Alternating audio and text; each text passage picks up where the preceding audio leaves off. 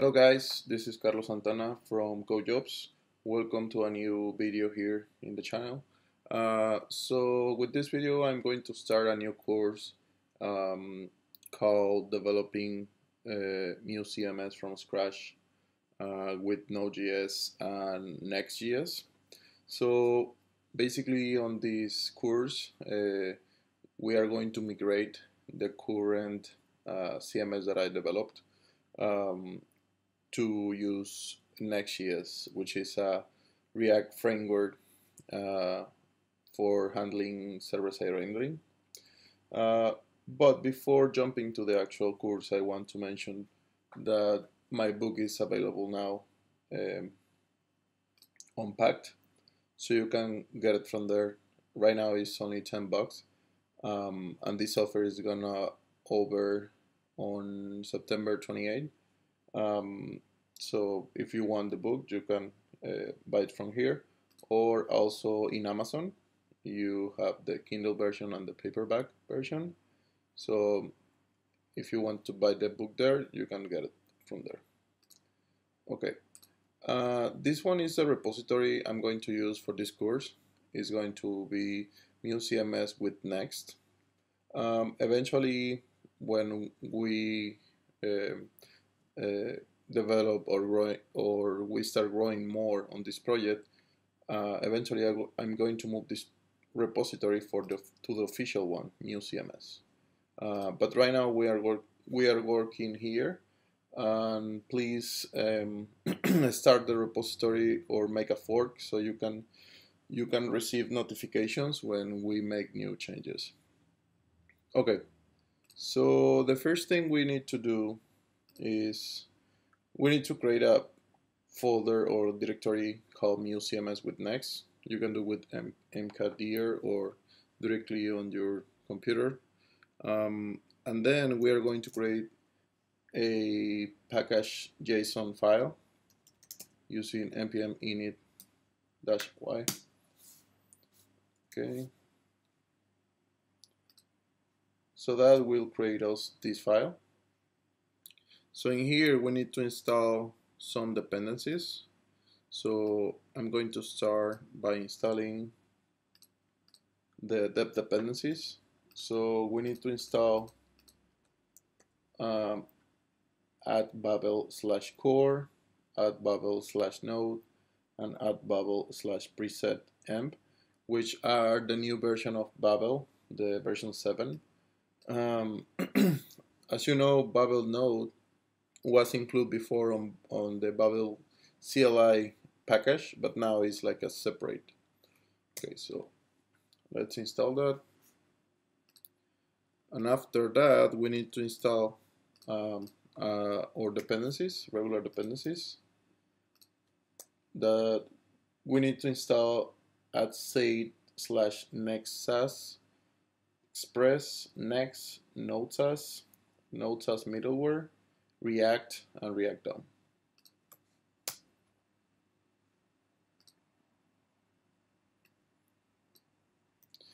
And after we install these packages in our package.json file, uh, we need to add three scripts.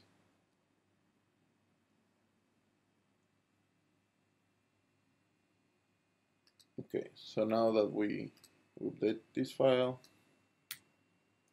we need to create these three scripts. The first one is dev, which is is going to start uh, our application using Babel Node uh, on the folder or directory source slash backend, and it's going to load the preset Babel preset m. Uh, as you know, the uh, last preset uh, ESLint in 2015 is now deprecated so it's not going to work anymore. So we need to um, use the new version of this preset. Uh, the build version is uh, to do an actual build uh, from Next, and the start is to start in production mode uh, for Next. Um, in here, I'm going to make some changes.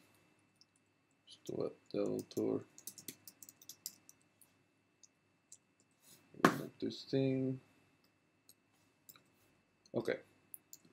So after this, we need to create a few folders. The first one is going to be source. Then inside we need to create backend directory and frontend. So with this, I'm going to split completely our backend from our frontend. Um, okay, so the first thing we need to do is going inside our frontend um, directory, we need to create the next config file, which is this. So we're going to save this one on frontend as next.config.js. Um, so with this, we need to require uh, the next Sass package and then export it like with Sass, like this. I couldn't find a way to make it work with import. Um, I'm not sure why, but this is the way it works with next config.js. Also, this file is useful uh, when we need to uh, uh, modif modify some webpack configurations from for next but right now we're going to do only this part uh, and then in the next applications um, we need to create a folder called pages uh, which are the pages we're going to uh, render uh, through Next.js so I'm going to create my index page.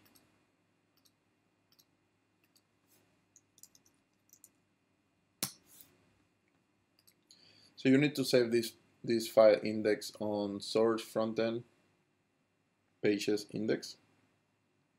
And basically it's a very um, easy file. It's just a, stateless component. Uh, this is React. And then we just import our CSS or Sass file and then we export the index. Uh, if maybe you're wondering why we don't import uh, React here, and this is because all the files inside pages are handled by Next, so Next inside the framework imports React. So we don't need to take care about that. Unless we create like separate components, but right now uh, it's not necessary. And then we need to create our CSS or Sass file on the same level and I'm going to name it index.scss just we're going to do like red on the h1 and now we need to create a special file a special file for next. It's called underscore inside pages. Is called underscore document.js.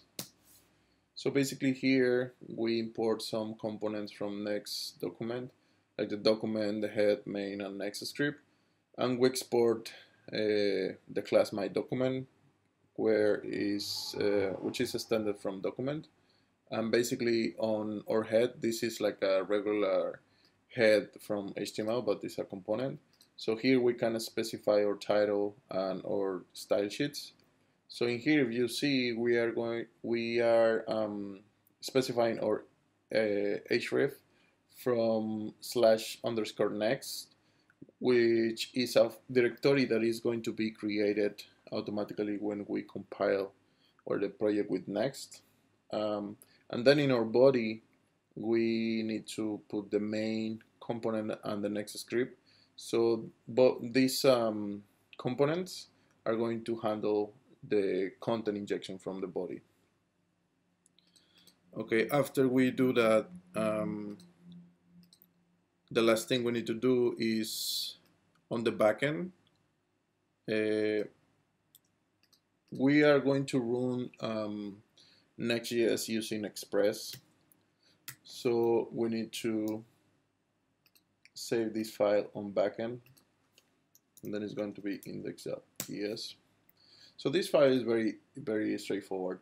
So on the first lines we import express next and path and then we get our environment if the environment is different than production means development is going to be true and then we need to define our next application which using next we pass some options. The first one is dev, which is a boolean uh, value to identify if it's uh, uh, dev or production.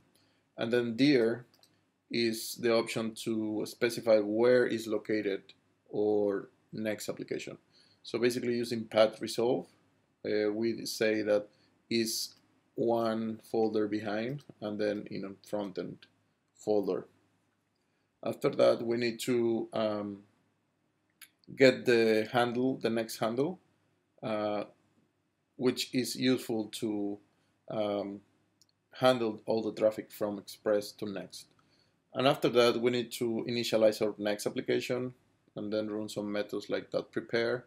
And then in the promise, um, we create our Express application like this, const app Express, and then we send all the traffic through Node or to Express um, uh, to next application. So with app.get asterisk, we are sending everything to uh, next handle. Basically, we are sending the request and the response variables. And finally, we just do app.listen 3000, that is our port. And if there is some error, we throw the error. Otherwise, we just put some console there. And if we get some error trying to initialize our application, we are going to catch that error displayed and exit the process. Okay, so once we do all this, all of this, uh, basically we need to do npm run dev.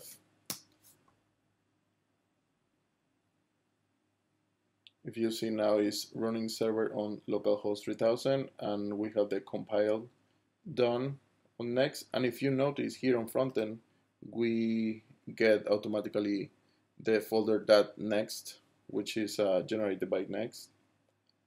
And now if you open your browser on localhost 3000,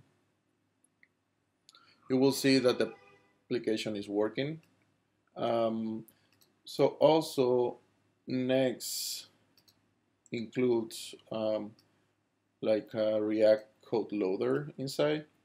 That means that if we update our application, automatically uh, the page is going to be refreshed without needed uh, of manually refreshing the page.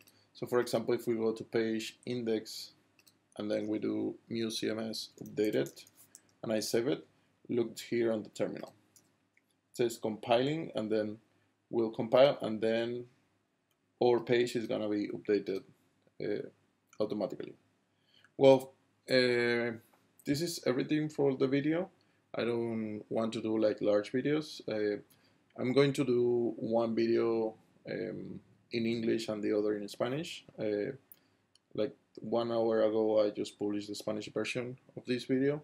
So I would like to invite you to uh, follow our channel, subscribe our channel. Um, also, if you want to join our Slack community, you can go to codejobs.com slash Slack and then you can join our community. Basically, we are more than 700 people right now. Um, if you buy my book and you want to receive some uh, advices or you have some questions, I can um, answer those questions for you. Um, so you're welcome to join our Slack. We, we do speak Spanish, uh, English, sorry. So you are invited to join. Okay, thank you for your time. I'll see you next time.